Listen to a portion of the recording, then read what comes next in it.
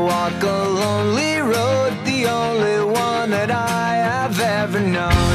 Don't know where it goes, but it's to me, and I walk alone. Vasárnap délután volt, és egy Toyota volt látható, amint keresztül száguld az oktogonon. A jármű utasa én voltam, és azért siettünk ennyire, mivel vendégségből érkeztünk, és majdnem, hogy már késésben voltunk. Apukám nem pont a legszabályosabb helyen állt meg, de így is sikerült időben odaérnünk. Ekkorra a fiú osztálytársaim a fűzfa hűvös árnyékában mérték össze egymásra, hogy kinek milyen hosszú az utazásra hozott bicskája. Belülről a buszunk egy kicsikét furcsa volt, ugyanis Dani széke hátulról teljesen össze volt karmolva, és a székeken található kis hálókat nem lehetett használni. A buszút unalmas részeit pedig egy kis zenehallgatással ütöttük el.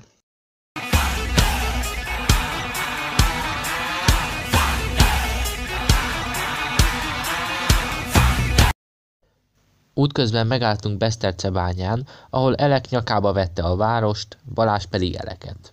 Omae wa mou shindeiru. Nani?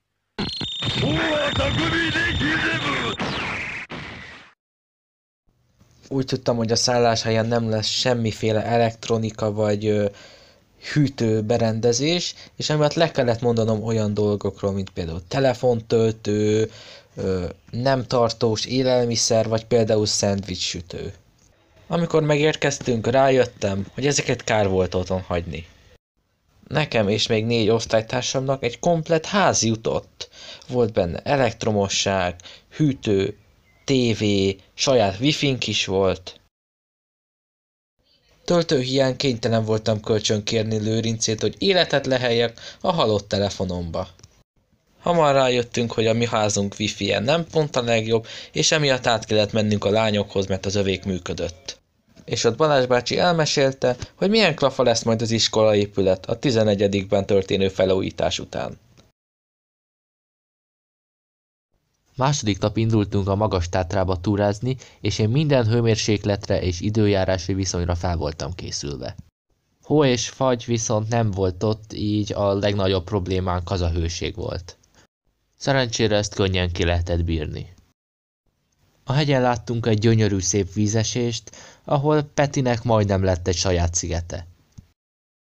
Egy hütténen álltunk meg ebédelni, ahol közel egy havi bevételt vontunk meg a tulajdonosoktól. Már majdnem felértünk a hegynek azon részére, ahonnan az út már csak lefele vezetett, és ekkor... Az egyik kanyarban észrevettem, hogy van ott egy hatalmas hókupac, amin az osztálytársaim állnak, és csak akkor kaptam észben, amikor az egyik hógolyó a fejem mellett repült el. Ekkor én Románia taktikkal beálltam a dobálózók közé, és vártam, hogy mikor érkezik az osztály maradék része.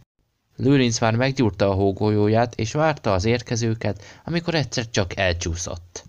A kezéből reflexből kirepült a hógolyó, és telébe arcon találta Kamillát. Hideg zuhanyként érte. Egyre följebb mentünk, és egyszer csak az egyik kanyarnál észrevettem egy botot. Egyből kihúztam a földből, és rájöttem, hogy ez egy tökéletes bot a túrázáshoz. Ezzel a bottal viszed véghez csodáimat. Valóban? Bocs, nem neked mondtam. Tipikus. A hegy tetején megcsodálhattunk egy tengerszemet, amit Tomi test közelből ismert meg. A lemenetel nem volt valami könnyű, ugyanis a sípályák felszíne nyáron nem valami alkalmas lefele menetelhez. Félúton tartottunk egy kis pihenőt, és utána hozzáláttunk a kevésbé meredek útvonalhoz. Ekkor a bakancson belsejében a belső talp elmozdult, és szerintem egy kétszer annyi utat minimum megtett, mint amit én egész nap alatt. De az útnak súlyos áldozatai voltak. Elek késének tokja elveszett a fűben. Tomi három euróért vásárolt pár korty kólát. És végül Dani annyira leégett, hogy hozzá képes Deadpoolon meglátszik, ha vérzik. Az előző napi hőség miatt felbátorodva én kijelentettem, hogy egy pár papucsban fogom teljesíteni a hernád áttöréshez szervezett túrát. Ám ekkor... Naj, naj, naj, Marci, nincs olyan, hogy jó időjárás, vagy rossz időjárás, csak olyan van, amire te nem számítasz. Így hát a várt napos és meleg időből egy zord, borult, esős idő lett. De mi kibírtunk minden útközbeni megpróbáltatást. Annyira vidámak voltunk, hogy bebizonyítottuk, hogy még egy hidat is tudunk nem rendeltetésszerűen használni. A lefele menetel nem volt valami könnyű, ugyanis az út minden egyes része csúszott. Atya ég, Fanni! Hát melyik szót nem értetted abból, hogy pozor simicska? Miközben mi ott áztunk, Roberto nemes egyszerűséggel Ferenc pápával lógott. Időközben beszélgettünk mindenféle filmekről, meg képregényekről, és az is kiderült, hogy Szeli mit tart a párnája alatt. Mikorra visszaértünk, Balázs bácsinak már totálisan elment a hangja, és nekem meg elkezdett fájni a torkom. A szállás számomra eddig ismeretlen konyhájában Peti és Doni elkezdett főzöcskézni.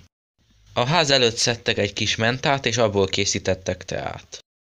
Ekkor Doninak ördögi terve támad, hogy rakjunk bele csalánt, és aki megissza, annak fájni fog majd a torka. De aztán rájött, hogy a csalánt tea az finom, és senkinek se tud ártani vele. De az ötlet jónak bizonyult, úgyhogy csalánteát készített. Az eredmény pedig egy folt a gáztűz helyen, egy elolvadt cukros doboz, egy folt Doni arcán, és egy bögrényi, tökéletesen elkészített csalántea.